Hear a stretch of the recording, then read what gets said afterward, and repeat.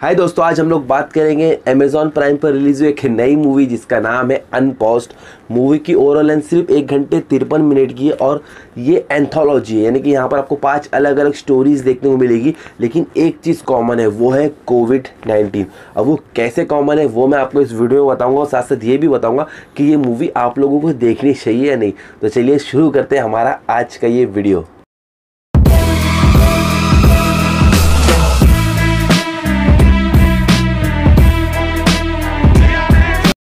तो सबसे पहली कहानी में हमें नज़र आते हैं गुलशन देवाई और शयामी खेर। कहानी शुरू होती है एग्जैक्ट कोविड 19 से, जहाँ पर हमारे इंडिया में कोविड 19 आ चुका है और इस वजह से लॉकडाउन भी लगा है।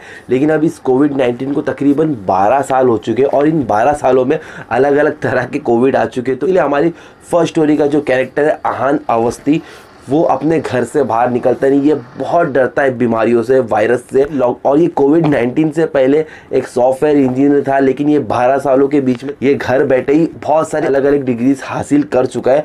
लेकिन अब कहानी में ट्विस्ट अब आता है। जब वर्चुअली आहन की मुलाकात होती है आयशा हुसैन से। अब उसके बाद क्या कुछ होता है ये जानने के लिए आपको फ़र्स्ट स्टोरी देखनी पड़ेगी। फिर बात करेंगे सेकंड स्टोरी की तो इसमें हमें नज़र आती है रिचा चड्डा इस स्टोरी का नाम है द अपार्टमेंट अब ये कहानी है एग्जैक्ट कोविड नाइन्टीन की जहाँ पर रिचा एक मैगजीन ओनर है उसको पता चलता है कि उसका हस्बैंड जिसका यहाँ पर रोल प्ले किया सुमित व्यास ने वो उसको चीट कर रहा है। उसके बाद रिचा के साथ क्या होता है ये जानने के लिए आपको सेकेंड पार्ट ही देखना पड़ेगा। फिर तीसरी कहानी है रेट अटैट अब ये दो ऐसी वुमेन्स की कहानी है जिनके बीच में एज डिफरेंस है। ये भी कहानी एग्जैक्ट लॉकडाउन के टाइम की, जहाँ पर सब तरफ़ पे लॉकडाउन लगा हुआ है। तो एक लेडी जो अपनी मर्ज़ी से अकेले रहने का डिसाइड किया और अब उसकी उम्र भी हो चुकी है, लेकिन दूसरी जो मजबूरी की वजह से अलग रहती है। तो अब लॉकडाउन में जब इन दोनों वुमेन्स की मुलाकात होती है तो इनके बीच क्या होता है, ये जानने के लिए आपको तीसरी कहानी देखनी पड़ेगी।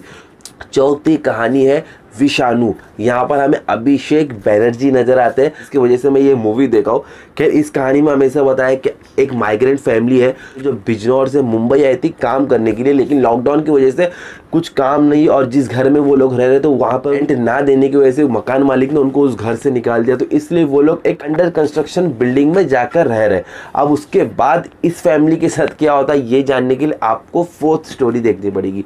और पाँचवीं और आखिरी स्टोरी का नाम है चाँद मुबारक। कहानी भी लॉकडाउन की है, जहाँ पर हमें एक ओल्ड लेडी और एक रिक्शा ड्राइवर देखने को मिलता है, जिनकी सोच बहुत अलग है, जिनकी अपब्रिंगिंग बहुत अलग है। लेकिन जब वो लोग इस लॉकडाउन में मिलते हैं तो इनके बीच क्या होता है, ये सब कुछ जानने के लिए तो आपको फिफ्थ स्टोरी देखनी पड़ेगी। खैर, अब बात करेंगे कि ये पाँचों स्टोरी देखकर मुझे कैसा लगा।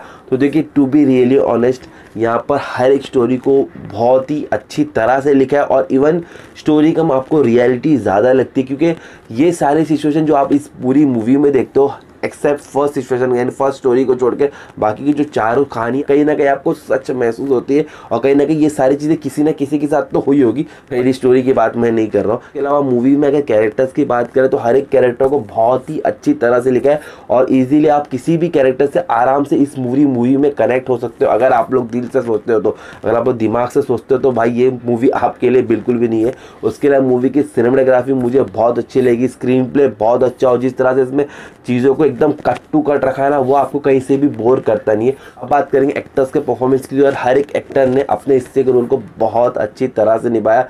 इवन कास्टिंग भी इस मूवी में बहुत अच्छी तरह से की गई है। मतलब हर हर एक्टर अपने कैरेक्टर में एकदम सुटेबल लग रहा था और इस वजह से मुझे परफॉर्मेंस कोई भी ख़राब नहीं लगा। लेकिन एक एक्टर है जिसने यहाँ पर रिक्शा ड्राइवर का रोल प्ले किया, उसने सबसे अच्छा परफॉर्मेंस किया है। खैर पेरेंटल गाइडेंस में इतना ही बोलूँगा कि एडल्ट सीन तो एक भी नहीं है, लेकिन फ़र्स्ट और सेकंड स्टोरी में थोड़ा बहुत आपको ऐसा लग सकता है कि घर वालों के सामने ना देखें, लेकिन उसके अलावा बाकी की तीन स्टोरीज ऐसी कुछ भी नहीं जो आप अपने फैमिली के साथ नहीं देख सकते। तो आप लोग खुद डिसाइड करो कि ये आपको देखना है या नहीं। और मूवी को रेटिंग दूँगा 7.5 आउट ऑफ़ 10 मेरे हिसाब से तो एक वॉचेबल मूवी अगर आप लोग इस तरीके की मूवीज़ देखना पसंद करते हो तो अदरवाइज़ अगर आप लोग जुड़वा टू या तो फिर कूली नंबर वन जैसी मूवी देखना पसंद करते हो मैं वरुण धवन की मूवीज़ की बात कर रहा हूँ। तो आप लोग ये मूवीज़ से सैकड़ों दूर रहना। तो यार, बस इस वीडियो में इतने वीडियो अच्छा लगे तो लाइक करो, नए अच्छे लगे तो डिसलाइक कर सकते हो। आपकी मर्ज़ी, घंटा फ़र्क नहीं पड़ता। लेकिन अगर लाइक करोगे तो मुझे बहुत खुशी होती है और अगर मेरे वीडियो को शेयर करोगे तो उससे भी ज़्यादा खुशी होती है। तो यार, मिलते हैं आज शाम को एक नए वीडियो के साथ। दुआ में आ सकता बाय